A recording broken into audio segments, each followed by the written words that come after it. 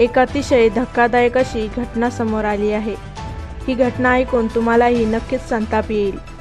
ही घटना अळसुदे तालुका कर्जत येथे घडली आहे. पती पत्नींमधील भांडणाच्या रागातून पित्यांनी आपल्या मुलांसोबत असं काही भयंकर केलं जे ऐकून तुमच्याही हृदयाचा थरकाप नक्कीच उडेल.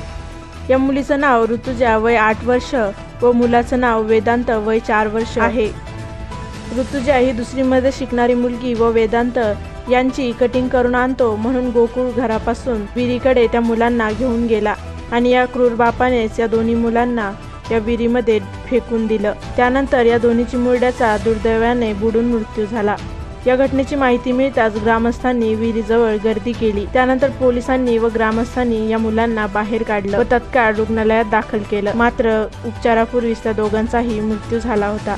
पोलिसांनी त्या पित्याला अटक केली आहे. पोलीस याबाबत अधिक तपास करीत आहेत. ही अतिशय धक्कादायक अशी घटना आहे. या घटनेने संपूर्ण परिसर हादरून गेला आहे. कौटुंबिक वादामध्ये या निष्पाप चिमुकल्यांचा नाहक बळी गेला आहे. कौटुंबिक वाद हा किती विकोपाला जाऊ शकतो हे या घटनेवरून समजतं. त्यामुळे तुम्ही काळजी घ्या व सुरक्षित राहा व अशाच महाराष्ट्रातील ताज्या बातम्या पाहण्यासाठी आपल्या चॅनलला नक्की सबस्क्राईब करा.